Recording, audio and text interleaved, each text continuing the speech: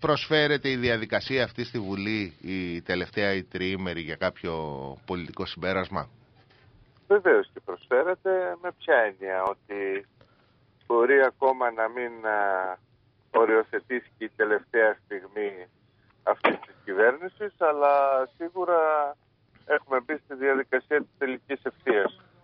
Ε, στη λογική του ότι σε κάθε ψηφοφορία πάει και ένας δηλαδή; Στη λογική του ότι δεν υπάρχει ούτε το κλίμα ούτε το σθένος ε, για να υπερασπίσουν αυτές τις πολιτικές. Περί αυτού πρόκειται και προφανώς τις αποφάσεις τους θα τις πάρουν ε, με τους 152. Δεν θα περιμένουν να τελειώσει ένας-ένας.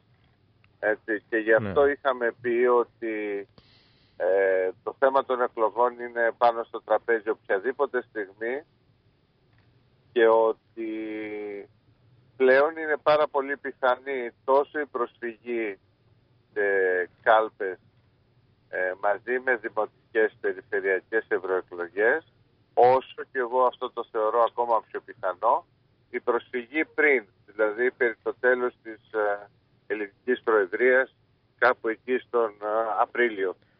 Ε, διότι ε, θα θελήσει ενδεχομένως η κυβέρνηση να έχει την ελάχιστη πρωτοβουλία κινήσεων.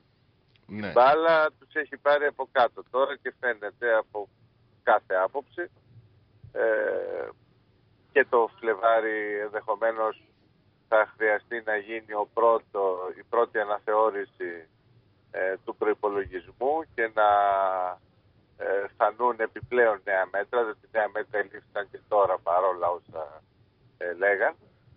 Ε, άρα λοιπόν οι πολιτικές διεργασίες είναι πάρα πολύ πυκνές, είναι σε όλους τους χώρους, ε, προεξοφλούν κατά κάποιο τρόπο μια ριζική αλλαγή στο πολιτικό σκηνικό, αλλά ξέρετε πάντοτε ότι οι τελευταίες ε, ε, εικόνες και περίοδοι ενός πολέμου είναι και πιο αιματηροί. Ναι. ναι. Ε, ε, Νικό, ωστόσο ο Πρωθυπουργός μόλις πρόσφατα, δηλαδή δεν πάνε τρεις εβδομάδες, είχε πει ότι εντάξει 153 τότε, αλλά έχουμε και μαξιλαράκι. Εδώ τώρα υπάρχει πολύ παρασκήνιο και προσκήνιο. Ας μείνουμε στις πολιτικές εκτιμήσεις έχοντας γνώση και του μεν και του δε. Ε, ακόμα και αν υπάρχουν μαξιλαράκια που και εγώ πιστεύω ότι υπάρχουν, ενδεχομένως να είναι πάνω από 3-4, μπορεί και περισσότερα και από περισσότερους φόρους.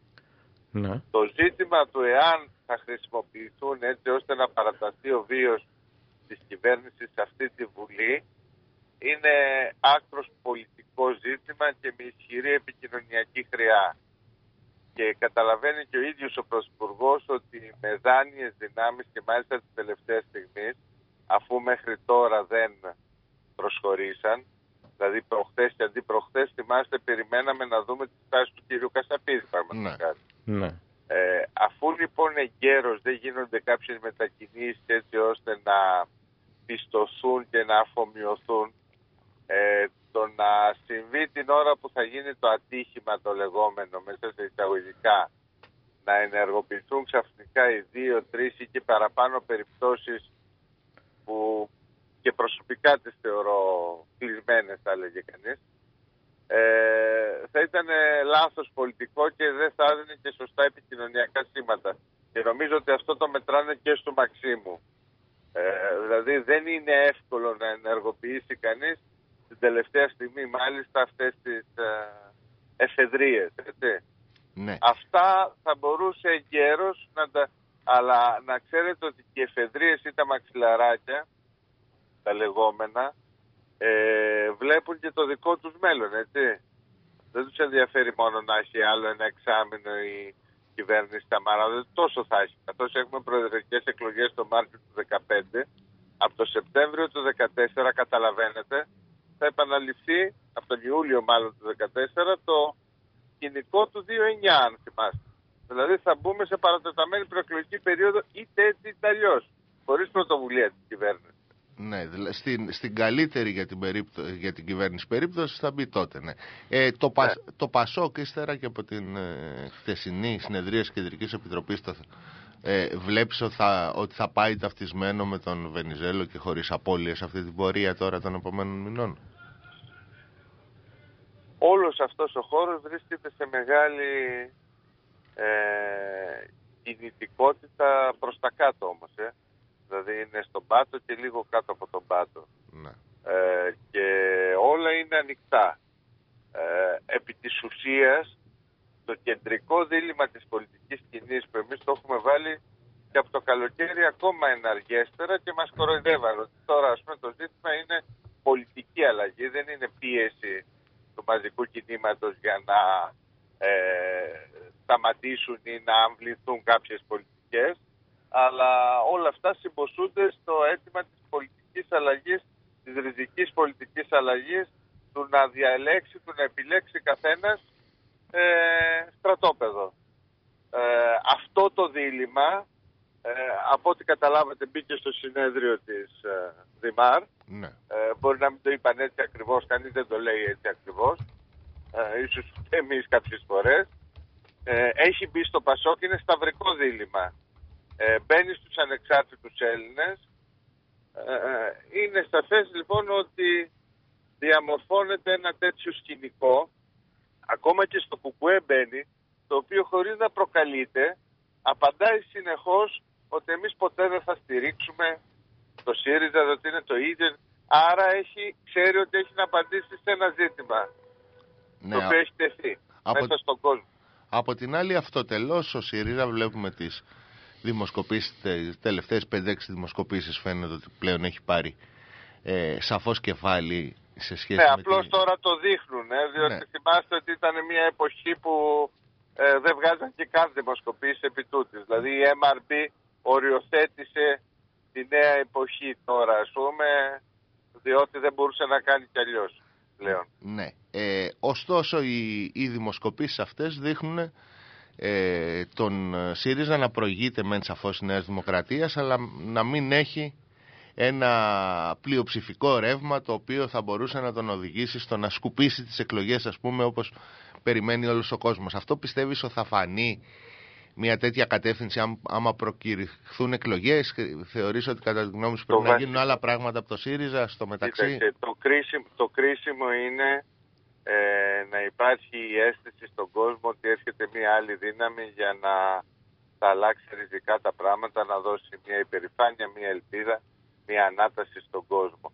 Αν αυτό ε, εγκατασταθεί στη συνείδηση του κόσμου πλειοψηφικά, αυτό είναι το κρίσιμο μέγεθος.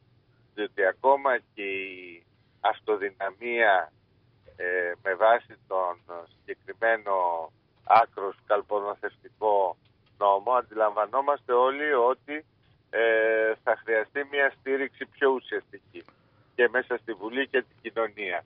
Αυτό το γνωρίζουμε. Άρα πρέπει ταυτόχρονα να εργαζόμαστε για αυτή την ευρύτερη στήριξη. Πολλοί μιλάνε ότι πρέπει να φτάνει ως πραγματική στήριξη στο 50% και κατανοχή να φτάνει και στο 65% για να μπορείς να κάνεις απερίσπαστα να περάσεις κάποιους μήνες ή και τον πρώτο χρόνο της διακυβέρνησης. Άρα πρέπει να εργαζόμαστε για κάτι τέτοιο είτε έτσι αλλιώς. Είτε έρθει μια οριακή ε, πλειοψηφία σαν κύμα πλέον, ας πούμε, με μεγάλη διαφορά από την Νέα Δημοκρατία, είτε είναι έλλειψη ε, αυτοδυναμίας, οπότε και πάλι θα είμαστε υποχρεωμένοι, θέλω να είμαι πάρα πολύ να δώσουμε κυβερνητική λύση.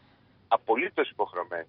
Έχω μία δηλαδή εντύπωση. Είναι πάρα πολύ σαφής αυτό το ναι. πράγμα. Είναι αδύνατον λόγω της κοινωνικής κρίσης, όχι λόγω των ταμπού και των στερεοτύπων που έχουν σχηματίσει και λένε Α, ο λαός να ξανακληθεί να ψηφίσει. Δεν εννοώ αυτό. Αλλά είναι αδύνατο σε αυτή τη φάση, τη δραματική για το λαό μας, να πεις, ας πούμε, σαν να μην συμβαίνει τίποτα, παιδιά, τι να κάνετε, φταίμε εμείς. Πάμε και σε ναι. δεύτερες και τρίτες Έχω... εκλογές για ναι. να μας δώσετε τη δύναμη που χρειαζόμαστε. Για να κάνω λίγο πιο δύσκολο Δεν αυτό. Δεν πρέπει ούτε ναι. καν να το υπενισόμαστε αυτό Περίμενε το πράγμα. λίγο. Για να το κάνω λίγο πιο δύσκολο αυτό, έχω μια εντύπωση ότι μια ομάδα στο Πασόκ που δεν είναι βενιζελική εργάζεται προς αυτό το σενάριο.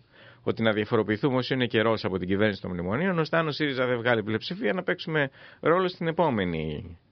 Εδώ τώρα είναι πολύ ενδιαφέρον αυτό που λες, διότι θέτει ε, δύο εναλλακτικές πολιτικές ε, στην οποία κατά τη γνώμη μου στη μία πρέπει να είμαστε ολάνικτοι και να την καλλιεργούμε και να εργαζόμαστε για αυτήν την άλλη ε, πρέπει με πολύ φροντίδα και προσοχή να κάνουμε τα βήματά μας. Ποιες είναι οι δύο περιπτώσεις ναι. ε, στον Καμβά ακριβώς ε, που έθεσες με το ερώτημά σου. Ναι. Και δεν αναφέρομαι μόνο στο Πασόκ και στην ομάδα που είναι μέσα εκεί. Αναφέρομαι σε όλα τα κόμματα που προανάφερα. Έτσι το κατάλαβες φαντάζομαι. Ναι βέβαια. Έτσι. Λοιπόν, ε, εμείς θα πρέπει νομίζω να εργαζόμαστε και να θαρρύνουμε κάθε προσπάθεια ανθρώπων, στελεχών που αν εκλεγούν ή επανεκλεγούν ή πρώτη φορά εκλεγούν όταν παρουσιάσει το πρόγραμμά της η νέα κυβέρνηση, η διακυβέρνηση της αριστεράς όπως λέω εγώ ας πούμε στην επόμενη Βουλή ανεξαρτήτως αν έχει ή δεν έχει 151 και ιδιαίτερα αν δεν έχει 151 ε, θα στηρίξουν για δικούς τους λόγους έτσι, ε, αυτή την ε, κυβέρνηση. Δηλαδή το πρόγραμμα που θα παρουσιάσει αυτή η κυβέρνηση ναι. χωρίς προηγούμενα να έχουν υπάρξει ε, κάποιες συζητήσεις ή, ή υπόνοια συγκυβέρνησης κτλ. Δηλαδή αυτό μια είναι ένα αυτό, σενάριο. αυτόματης ναι. ανοχής ας πούμε. Ε, στήριξη. Ναι. Στήριξη. Ε, η ανοχή μπορεί να είναι κάποιοι να μην παραβρεθούν και την κρίσιμη στιγμή ή να μην καταψηφίσουν. Ναι. Τώρα λέω και για στήριξη συνειδητή. ε, αυτό νομίζω ότι αποτελεί σενάριο με το οποίο συζητάνε διάφορα στελέχη τουλάχιστον μέσα στα τρία κόμματα που σας προανάφερα. Ναι. Ε, κατά τη γνώμη μου είναι θεμητό σενάριο και θα πρέπει να εργαζόμαστε γι' αυτό, όχι απλά να το ανεχτούμε ή να πούμε μας κάνουν ό,τι θέλουν.